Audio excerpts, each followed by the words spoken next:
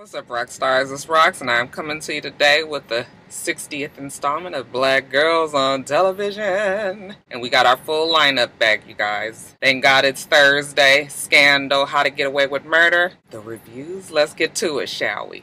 Alright, you guys, so Scandal is back, and I'm gonna say it for you. It's gonna be a difficult year.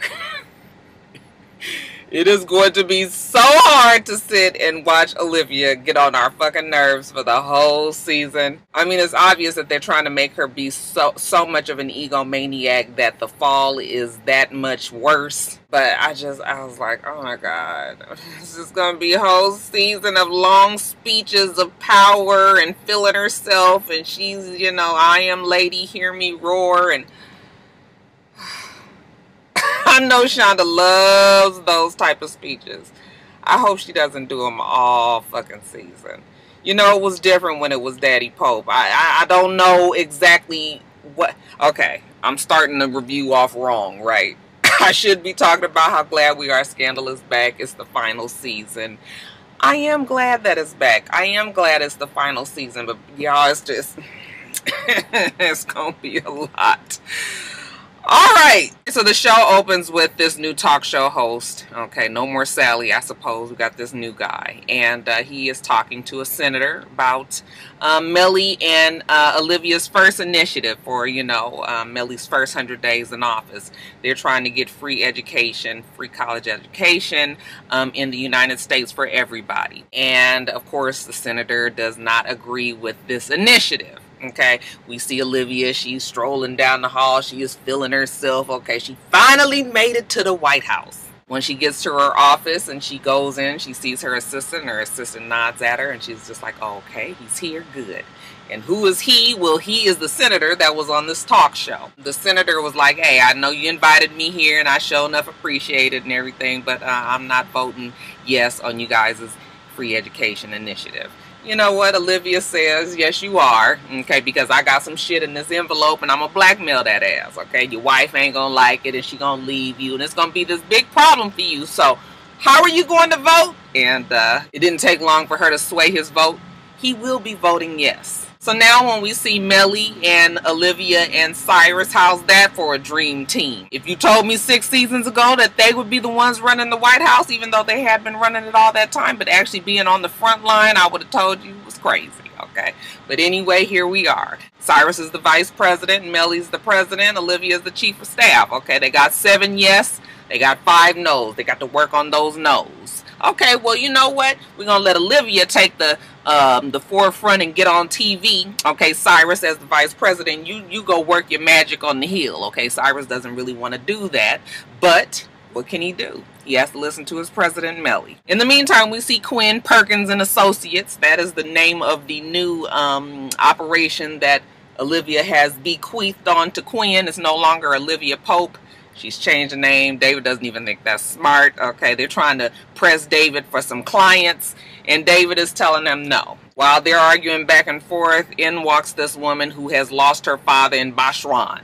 Okay, I, I, I, guess I'm saying it right. Bashwan or uh, Bashwan. They don't know where he is, but she knows something's wrong because he usually would keep in contact with her. So, hey, They've got their first client. Jumping back to Olivia's dinner time, she goes and has dinner with her father, okay? And um, it's interesting how the role has reversed and she is now her daddy and her daddy is now her. Daddy is paranoid that she's watching him, his every move, know, she's trying to assure him that she is not. She's very much matter of fact and, you know, kind of like I'm running things now. Um, and he recognizes it and he just tries to give her a little bit of a warning. Listen, there's a day of reckoning coming for you. I know you feeling it. I know you big on the power and you feeling good and you in the White House and you and Mellie and all y'all about to do it. But I'm telling you, the fall is going to be swift and it is going to be harsh. She says that she and Mellie are a team. They are going to do everything together and that they are going to change the ways of the White House, changing it for the better. And he says, Oh, you think so, huh? You think you got it all together? Listen, there's going to be a day when you're going to have to make some choices. It's going to be one choice over here and it's going to be the next choice over there. And you might not like neither one of them, but you're going to have to be forced to make a choice. And it's going, I'm just telling, I'm just letting you know, dear daughter it's gonna be rough, okay? You can't have everything your way. Definitely can't have it all. And she says, watch me. Next, we see Liv debating on that same talk show that I told you about at the beginning of the video with the gentleman. He is, um, uh, I, I think he's like a Latino American gentleman, good looking even while they're arguing back and forth on this education bill, it's obvious that there is some sexual tension there. Right when she's trying to get on the roll and really debate him about this free education, he cuts her off. That's it. We don't have any more time. Thank you for joining our show. She smirks to herself. Okay, she didn't win that battle, but baby, you ain't gonna win this war. Quinn and Abby they're trying to find out where old man might be, okay? Your regular spy antics that they do, you know, surveillance cameras, breaking into computers. They got Huck on the job. They suspect that the father that is missing is CIA. Okay, but they don't know for a fact. So Quinn takes the file and the information that she has and she goes over to Olivia's house that night. Okay, Olivia doesn't let her in. What do you want, Quinn? She was just like, hey, we've been working on this case and uh, we got somebody missing. We think he's the CIA. You know, he's in Bashwan. And Olivia was just like, give me the file. Okay, Quinn's like, let me in. She's like, nope, you can't come in. You know why she can't come in? Because Jake is there. She's sleeping with Jake. When she takes the file and closes the door on Quinn, we see Jake getting back dressed. Okay, I guess they just finishing a session. She tells Jake she got a job for him. Okay, I'm assuming she's talking about this information that Quinn just told him. He has a little bit of problem with that. Okay, I guess he tired of her ordering him around and everything, considering he's jumped into bed with her. Okay, you guys are bed buddies, brothers and sisters. What would Daddy Pope think of his kids back in the bed? But whatever, Jake is in his feelings, and she was just like, listen, we said we were going to do this, but you cannot make it difficult. We said we would make it easy and comfortable. Stop making it hard. Let's finish up the round. I thought you was just finished, but I guess not, okay? and he snatches her up and I guess they about to have another session. Next day, Jake tells her that the guy is CIA and um, hey, they got him, we got to kill him. Olivia was like, kill our own? Absolutely not. And he was like, he is not our own anymore. They have him and they are going to terrorize him and they are going to torture him and they're going to get information out of him that is important to the United States. There's nothing else we can do. We got to kill him. Okay, Olivia doesn't want to do that. So she says, let me think about it. He's like, I'm telling you, Olivia, you got to do it. And she was just like, let me think about it. And he was just like, you know, she looks turmoiled and troubled, and he tells her, listen, it's going to get easier. She says, what, killing people? And he says, no, being command. Now we see Cyrus, he is meeting with uh, one of the senators of the Democrats, okay, and he is trying to convince her to vote yes on this education bill. The lady says, listen, that free education thing was supposed to be the Democrats' ticket, not the Republicans. I'm not voting right now because I feel like we could use this four years down the line. Don't you want to be president? You can save this monumental bill um, for when you get on the ticket. Okay, I want you to think about that, okay? And she did put a little something on Cyrus's head because we know that Cyrus has, uh, you know, he's always had the ambitions of being um, the president. So I guess Cyrus has got something to think about. Quinn tells the lady that hired her office that, uh, yep, we found your daddy and he is in Bashwan, okay? And um, that's all she tells her. You know, Charlie says, well, why didn't you tell her that, you know, he was CIA and he was a spy and he got kidnapped? She was like, listen, she just hired us to find out where he is and that's all we did. We're not telling her any of the rest of that, okay? And Charlie doesn't like that. Are we always going to be lying? Are we always going to be, you know, cloak and dagger and not telling the full truth and all that? Charlie, remember what you do, okay? Not only do you work for Quinn, but you are still part of B3 cert. What, what the fuck is it? B16, B3, 3, B3, 16? Y'all know what it is. Why all of a sudden Charlie in his feelings? Huck, because he already know how this goes, okay? He shows up in the shadows of Olivia's uh, apartment, okay? When she's coming home one night, you know, he goes and he says, uh, you know, you gonna kill this guy? And Olivia was just like, what? Okay, he's like, you gonna kill him? She's like, well, what makes you think that I'm gonna kill him? And he's like, listen, I know how this goes. I used to work with B16. You know, they deserve to at least have a funeral. This girl looking for her father and everything, you know, so then he didn't stressed out Olivia and made her feel guilty. what about when he went and disappeared back into the little um, apartment across the way from I said, do the nigga live over there? Like how you just get a key and just walk in the door and just disappear on the other side? I was just like, well, I'll tell you that Huck and Olivia there or something else. But now that he has made her feel guilty about it, she goes and she decides that she is not going to kill him, that they are going to bring this man home. And Jake feels like it is a mistake. We cannot do that. He needs to be killed. It's already a done deal. Like he could already have been told him some shit. And she reminds him, listen, I don't give a fuck what you think, Jake, because I am in command here and you gonna do what the fuck I say. In the meantime, Cyrus and Liv are still trying to secure these education, you know, yes on the free education votes. So Liv you know, all huffed up and full of power, is having a little meeting with Cyrus, and she was telling him how, you know, Mellie has this meeting that she has to do, and I got some shit that I gotta do. So you go do some old menial little job that don't mean nothing. Okay, go on about your business and get out the way and let us handle what we gotta handle over here. You know, Cyrus is just like, you want me to go talk to, I don't know what it was. Was it some Girl Scouts or some shit? And uh, she was just like, uh, Do you have a problem with that? You say you work for this office, you want to work for Mellie, you got to do what's needed and necessary, right? Okay, so you're going to take your ass down there and, and uh, talk to the people unless there's something wrong with that. And he says, No, no, there's nothing wrong with that. what about Cyrus's new little look? I was like, I don't know, Cyrus. Maybe you might want to just slick it back down. He look a little frazzled and crazy to me. So then we see Mellie meeting with the Botswanian uh, official. And Mellie's reminding him how the countries have had good relationships with each other and how it would be a shame if everything got fucked up now because, you know, it could be sanctions. I mean, it could it could go all the way up to, uh, you know, war. And he kind of is condescending to her. And he was like, listen, I know you just got here and you don't really know how everything goes. You probably don't know if you got good or bad intelligence. And again, it's not your fault. You just don't know better. Okay. So what I'm to do is I'm just to sit here and continue to talk to you and I'm to pick up this tea and I'm to drink it. Okay, I'm gonna humor you and then I'm gonna get on about my business. All right, Mellie looking at him like, ain't this about a bitch? Now, Jake is still mad that Olivia has decided not to kill the man and try to bring him back home. Again, we need to send somebody over there to kill him, and you know, Olivia's just like, no. Now we see Mellie, and Mellie is fully the graceful president of the United States. Mellie finally looks happy. She is settled. She is in this position. This is rightfully where she should be. And uh, she's rushing off from meeting to meeting, and she sees Cyrus in the hallways. Oh, Cyrus, Cyrus, Cyrus. Okay, I haven't had a chance to sit down and talk to you, but I just really want to thank you for being here and working with me. Okay, you have been with me every step of the way. You haven't forsaken me. You haven't done anything to trip me up. I mean, look, we are working together. Can you believe it? All that time that we have been at each other's throats, now we're working together and we can be friends. I really appreciate you. I mean, she is just really giving him all these accolades, Oh accolades, you know, shout out to Nene. He's looking at her like, wow, okay, she really does mean that, okay? They don't just have me around here as the minion, okay? Maybe I do have a spot in here in this office. So I would think that that conversation that he had with Mellie, although it was short, it did help him in some future decisions that he needs to make. Now, I told you guys about the sexual tension between uh, Liv and the uh, TV host. Well, the TV host shows up at her office, okay, and he wants to take her to dinner, okay, and she was just like, um, it's the middle of the day. And, you know, he tries to say some cute little something like, we can start now, but um,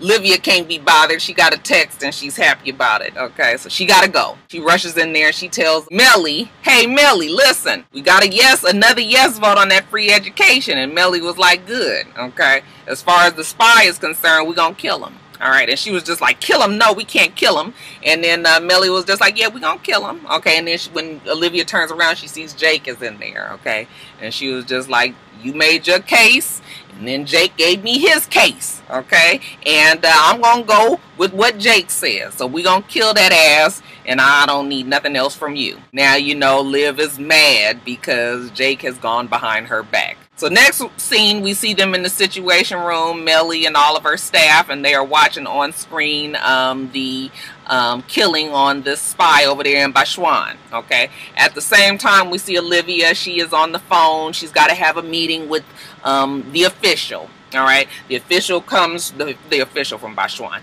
He comes over there and uh, she gives him this iPad and it is a video of his kids playing on the swings. Okay, she's basically telling him, We're gonna kill your kids if you don't turn over the spy and let us have them back here to the United States. He tries to call her bluff, but you know Olivia, even though I don't think that she would have done it, but she was just going with her gut. She had Huck Huck had the gun trained right on her on his kids, and Huck was like, "Okay, Liv, all right, this is gonna happen. This is going to happen." He's on the phone with Olivia, and he's telling her, "I'm gonna shoot these kids. I'm gonna kill these kids. Are you sure that's what you want to do?" She's doing a countdown, and finally the official says, "Okay, okay, okay."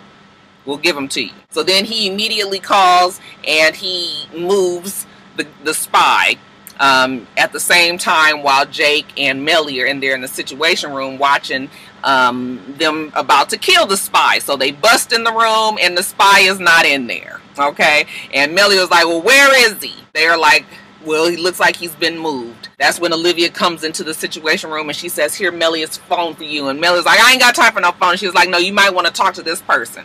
Okay. So the person on the phone tells her that um, the spy was just delivered to the American embassy and he was unharmed. So they aborted the mission. They didn't kill the spy. They got their spy back. And Olivia has saved the day. Now, remember, I was telling you that Cyrus had to make a decision and that um, the conversation that he had with Millie helped him. Well, that's when he goes and talks to that senator again about, you know, maybe him having ambitions of being a president in four years and saving the vote till then. And he gives this long, convincing Shonda Rhimes speech about, you know, how they got to do it now because it needs to happen now. And, you know, he's doing this and he means it is free education and blah, blah, blah, blah, blah, blah, blah, blah. So the lady was just like, oh, okay. And then she calls Olivia and she tells her, hey, we was testing to see if Cyrus was full of shit if he had any ambition, if he was going to stab Millie in the back and try to be president in four years. And it looks like he is 100% in. So you don't have to worry about Cyrus. Okay. So that was what that it was all about. Olivia was just testing his loyalties. As far as the spy, he's back in the United States. He's reunited with the daughter at uh, Quinn Perkins and Associates. Okay, they hugging, they happy. Okay, Quinn has solved her first case. Liv goes home and she tells Jake, hey, listen, I got a bone to pick with you. And he says, you know what, I'm sorry. I know I was wrong going behind your back. And she was like, no, you weren't wrong. You were comfortable. I let you get in my bed. I let you think that you could double cross me. I let you forget who I am. I'm Olivia Pope. And I'm big deal up here in town, okay? I am command, I am the head, I am the foot, I am the everything. You sleeping in the bed with me, you obviously forgot that, so uh, I'm gonna have to leave you alone. I'm gonna have to cut this whole thing, okay? Quit fucking with you. This is completely over. You need to take it on home to your wife. I was like, child, I forgot Jake was even married. I said, that Olivia knows she love her old married man, old loose ass biatch.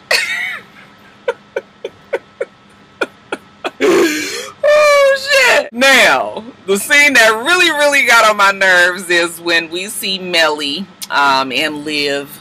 They finally have this showdown about uh, Liv kind of going behind Mellie's back and overstepping her. Okay, so um, you know, Mellie was just like, "Listen, next time you do that shit, you're gonna be out." And Olivia was just like, "Honey, this." What you think this is, baby? This ain't your office. This office is for the people. And you all worried about men and they telling you what the fuck to do around here when you got the head bitch in charge right behind you. I'm supporting you. I got your back. Bitch, don't be thinking about all these other men around you because you're going to fail every time. I am the woman. I am the person. I am the strength. I am the... I said... I was just like, Lord, I can't take it. I cannot take it. We gonna get all season of that, okay? For some reason, it does not fall the same way that it fell from Daddy Pope's mouth. It doesn't do the same with Olivia. So I was just like, ah. And then what really gets on my nerves is, you know, people always deflect and defer to um, Olivia. And Mellie's a fucking president. I mean, you know, I understood what Olivia was trying to tell her, you know, a little bit but Olivia fully believes that that is her White House. And I was just like, Mellie, girl, you got this headstrong ass, drunk on power bitch, you know, trying to run your show over there. I mean, I know that if it wasn't for Olivia, Mellie wouldn't be there, but oh, she is just, she is tiring. Child, I can't. But Mellie agrees. Yes, it is our office, us women. The men can't take it. Okay, they gonna hate us the whole way, but girl, it's me and you. I said, okay. And then lastly, we see Liv. She finally gone and hook up with the TV host. Okay, as if we didn't think it wasn't gonna happen. All right, Liv got to have her some sort of D in her life, and um, hey, this man wants it. She got a P to give, so why not? I tell you, it's gonna be rough this season, y'all, but we gonna make it. And then How to Get Away with Murder. I tried to figure out a way to try to organize this show a little bit better today, but I, I just can't. So I'm going to be jumping back and forth to the future, to the back, to the present, to the going back. It's gonna be a lot of that, y'all. I'm sorry. Okay, so the show opens at 9:01 a.m. Okay, and the, and um, we see the counselor. He's on the phone. He is convincing someone that they're wrong, and we don't know what any of that means. But he got to go because Annalise is there. Okay, that is his client. So she's talking to him, and he says, "Are you tired?" And she was just like, "Yeah, I am tired." He says, "What? You not sleeping? Are you drinking again?" And she was like, "No, I'm not drinking. Okay, actually, I got my first case." Is the lady that I shared the cell with. And now that she has her license back, she is going to work on getting this woman out of jail. You guys remember the lady that was in jail with her that saved her from getting her ass beat. That's when we see Annalise at the jail and she is talking to the woman how she is going to be her new lawyer and that she's doing it for free. The lady was just like, girl, you crazy, but uh, okay. If that's what you want to do, then fine. Then we see Laurel, and she's Googling shit about offshore shelters and, you know, hiding money and all kind of other stuff. She's so preoccupied, she gets a text message from Michaela, and Michaela says, don't forget to shower. Okay, and she jumps up like, oh my gosh, she's got to be somewhere. Where does she have to be? We see the kids. They are at this law firm um, job fair, um, and all of them are trying to get jobs. Remember, Annalise has fired them all and turned them off to be free and make their own way. So they are there. Laurel comes bringing up the rear. Okay, looking a mess. We even see the Indian kid. What is his name, you guys? I don't remember his name, so this whole video is going to be the Indian kid. I'm not trying to be offensive to anybody. I just don't remember what the man's name is. He's there. He's hating as usual. Okay. The only reason why any of these people might be even interested talking to you is because they want to know the tea on Annalise. So he's trying to get them off their game. Okay, and speaking of Annalise, we see her in court, and she is arguing for her new client. She's trying to get an extension, and uh, the judge ain't hearing it. Okay, it ain't my fault that you just jumped in on this case right now. Okay, that shit is starting tomorrow. So it was a try, didn't work, but Annalise is just going to try to do whatever she can do. Okay, when she's walking out of court, uh, she sees Bonnie walk in, and she was just like, Bonnie, girl, today is not the day. Right now is not the time. And Bonnie was just like, oh, I, I know that. okay. Not trying to talk to you. All right, the judge says, okay, can I have the next ADA come up? And Bonnie says, that's me. And Annalise turns around and look like, bitch, I, did you really go over to the other side like that? Yes, Annalise, she did it like that. Can you believe it? Miss Winterbottom with old cold ass. so then we go back to Annalise and her counselor, and you know, it's back to the president again, and he's asking her, um, you know, I don't want to know about the case you telling me all about the case. I want to know about you. That's why you're here, right? And she was just like, listen, don't try to guide the narrative. I'm here. I'm talking to you. You listen to whatever I feel like talking about. Isn't that how it's supposed to work? You, the counselor, you listen to what I have to say. And he says, oh, excuse me. Take all the time you need. So then we go back into the past and we see Bonnie and uh, she's talking to real nice Nate. He's just like, oh what do you and Annalise have cooked up? Okay, y'all trying to come here and work here and find out something. Listen, I don't want to be no part of none of that. And she was just like, I don't work for Annalise anymore. And he was just like, whatever. He kind of walks off in a huff, like, bitch, you guys ain't fixing to trip me up again. Now, the kids at this job fair, you know, they kind of having some problems. You know, all of the people there are asking them about their academics and how it looks like their grades had kind of suffered. Okay, I was like, that's because they've been too busy for the last three years killing people. that's why. Everybody is trying to come up with reasons why it happened, okay, and how they did recover some of their grades and yada yada yada. Okay, so now it's looking a little dicey for them. We're not sure if they're gonna get hired. And then we see Annalise, and she is having a problem with the girl that she is trying to represent. Okay, this woman is broken. She's a drug addict. She's been in jail all of her life. Okay, she just is hard to work with. The lady tells her, listen, I've been in this fucking cycle all my life, in and out of jail, okay? You get out, you get back on drugs, you know, they fuck you over again, and then you end up back in jail and this and that. And I am fucked up. You cannot save me. I know you think that you can, but you can't, okay? So guard, Okay, I done had enough talking with my lawyer. I need to get out of here. So then we see Annalise and her counselor again, and they talking, and he says, um, why are you helping her? And uh, Annalise was like, because, like I said, she kept me from getting my ass beat when I was in jail. You don't believe me? And he was like, nope, I really don't. You're lying. You're hiding behind something. I can see that. So you either going to talk to me or you going to get the hell up out of this office. I said, ooh, counselor. You don't know who you talking to, honey. Annalise is the master of keeping shit hidden, okay, and changing even your damn mind. So then we see Annalise and she's down at the courthouse and she's arguing with somebody, you know, she can't get these files or whatnot. So, okay, the shit is sealed and they ain't giving it to her. And then a real nice Nate walks up. I said, ooh, Child, I sure wish Annalise a real nice they could work their shit out. He says, I know that Bonnie is the mole for you. I don't really know what you guys are trying to do. And she was just like, I fired Bonnie. Bonnie doesn't work for me anymore. I didn't even know she worked down here until this morning. So you can get the fucking panties out of a bunch and quit being so damn worried and mad and upset and, you know, suspicious because I ain't doing nothing. He was like, well, why, well, why did you fire her? And she was like, because she's better off without me. But you know, real nice Nate, he's still trying to be a hard ass. You know he still love him some Annalise. So now the kids are all back together and they at the apartment and then all of a sudden they start getting their callbacks. Okay, Michaela, I think Michaela got what, five or three and even Asher got a couple. Um, Connor didn't get any. And what about Laurel? Where is Laurel? Now we see Annalise and she's still trying to read through the cases of her um, girl that she's representing seeing how, you know, she was from 18 years old all the way up to present, that she's been in and out of jail for different things prostitution, uh, drug, you know, theft, robbery. I mean, she's just been running the gamut on being somebody that is out there in them streets. But while she's looking at everything, she finds a loophole like, uh, you know, Annalise does. It seems that when she was 13 years old and she was arrested, the judge gave her a freebie and let her out of uh, jail. Annalise smiles to her and she says, you know what, that's going to be your ticket out. Now, Connor actually, I think, got a call back for legal aid. All right, and he goes down there, and um, he don't get the job. To make a long story short, but they are also calling to talk to Laurel um, after Connor, and Laurel is not there. Okay, so now Connor has to go and try to figure out where Laurel is. Laurel is still researching, okay, and trying to find out mystery deaths of Antares or some shit like that, and um, you know, some employees, the deaths, and I was just like, anything that has to do with Laura, I just, I just, I don't even mentally process it, y'all. I'm sorry. Now, Bonnie, she calls Finance Frank, okay? They trying to figure out if they gonna hook up for dinner or not, okay? She tells them how she bumped into Annalise down at the courthouse. You know, Annalise was trying to get these files. They wouldn't get them for her, um, and how frustrated she was. But you know what, fuck, she don't work for Annalise no more, so she can't even worry herself about it. She gonna just get her ass drunk and go to fucking sleep.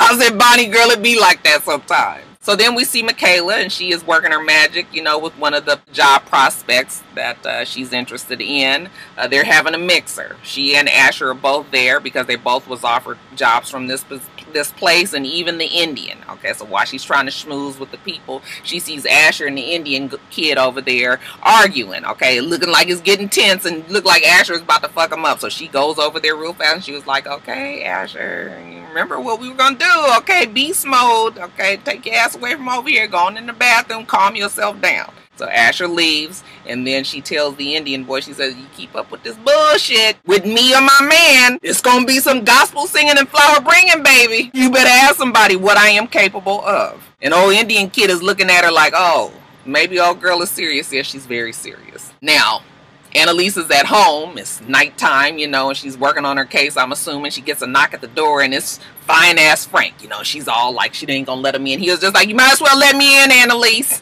Okay, I got something for you. So she kind of opens the door to a crack a little bit, and he gives her the files, you know, those sealed files that she was trying to get a hold of. And he was just like, wait a minute, Annalise. All creep mode-ish and everything. I said, what?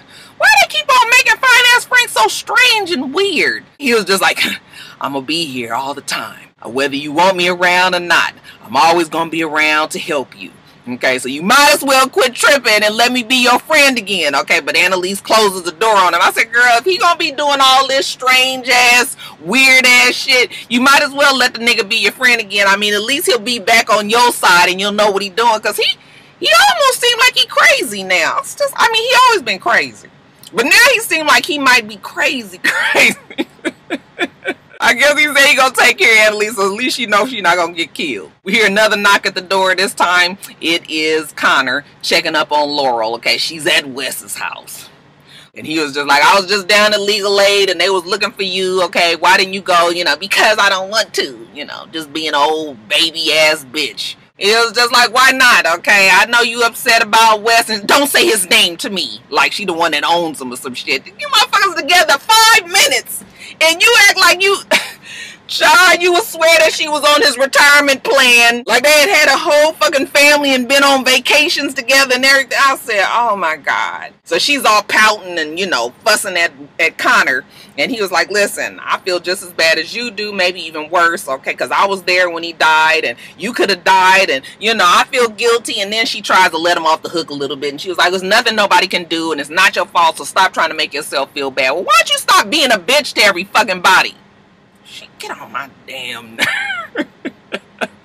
Now, back in the present, Annalise is telling the counselor that she's not hiding herself at all. She's just telling him about herself. And he says, Well, is this case that's so important to you? Do you see yourself in this woman? Okay, is that how you was treated back when you was 12 and 13 years old and growing up and it happened to you, you feel like you've got to save her. And she was just like, no, that's not it at all. I mean, you know, when I was younger, I had a lot of shit happen to me bad, but you know, my teachers always told me that I could be something good. And, you know, I believed it. But when we go back, we see Annalise and uh, she is questioning the old judge in the case, the very first case, the very first time that her client was arrested okay when she was 13 years old and she tells the judge hey look i see that you um, released her why did you do that and he was like because you know she was out there and it was more like a sex trafficking case and not really prostitution. She was like, well, why didn't you let her off on sex prosti- I mean, sex trafficking? He was like, because it, did, it didn't really exist back then. Okay, so I figured I would just let her go and seal the record so nobody else could see it. And she was just like, okay, well, that's all fine and good, except that we had six or seven other kids that had the exact same experience as my client did, um, and you released them and then you sent them on to rehabilitation okay? And like i said theirs is the exact same scenario except that they are all not black all right?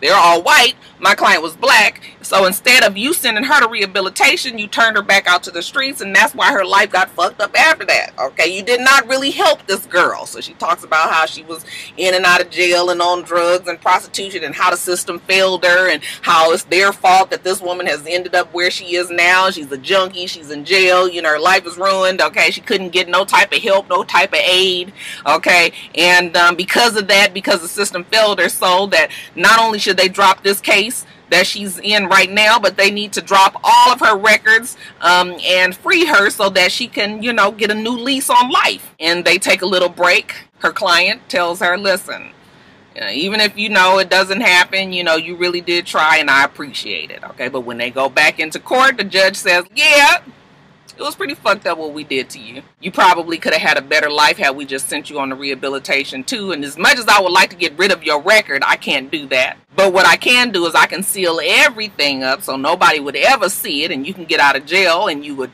be free to go find a job and start you a new life. So Annalise has won. And so she tells her counselor that. Wasn't it funny when the counselor started to tell her um, how he used to be a drug addict back in the day and now he's changed his life for the better. And she was just like ah, i wish you wouldn't have told me that. Incoming call from dad cell. Mobile press uconnect phone button to answer. Hello? Hey Madame, how you doing? Hey dad i'm fine. What's going on? What you doing and he was just like, why not? She was just like, well, you know, remember I told you about the issues that I had when I was younger. Okay, well, I was talking to my counselor, and, you know, instead of me telling him my problems, he started to open up and he started to tell me his problems. And it was real nice because we had a real friendship there and we grew so close. Um, he became my husband. So I'm gonna have to put the whammy down on that ass too. You, you keep on telling me all your shit. Cause honey, can't too many people resist all this that is Annalise. And I can fuck your life up too. So I'm just letting you know ahead of time. Alright, that I might be that one to turn your life out.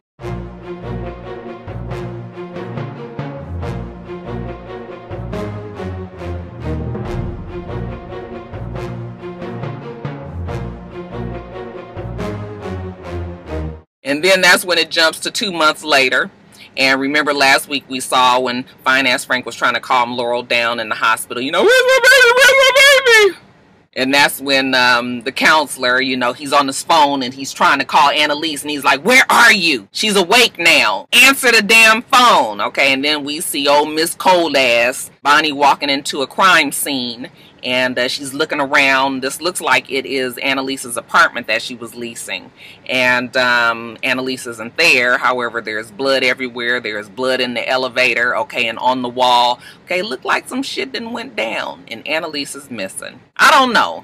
What are you guys thinking about the season so far? I'm more intrigued with the Annalise part than the Laurel part, but I guess we'll see. All right, you guys, let me get off of here. Make sure you rate, comment, and subscribe to the channel. I'm itsrox. The channel is for itsrox, and everything else I do will be in the bottom bar. All right, all right. So I hope that you have a wonderful, wonderful rest of your day. I plan on doing the same. Till next time, Rock Stars. Bye.